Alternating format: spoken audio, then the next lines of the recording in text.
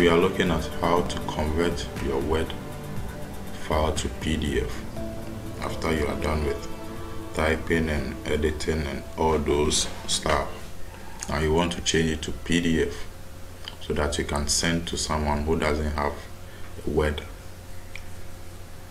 app on his or her phone so that person can read Adobe file. So afterwards, you click on File, click on Save As. Here you specify where you want to save the document to. So desktop.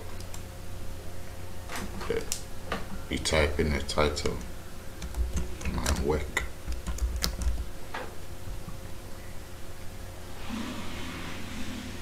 Save as type. You click a drop down come. Look for PDF file. Click on PDF. Then save. And your work is saved on your desktop.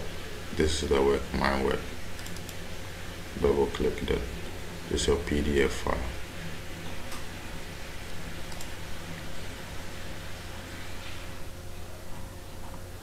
Thanks for watching.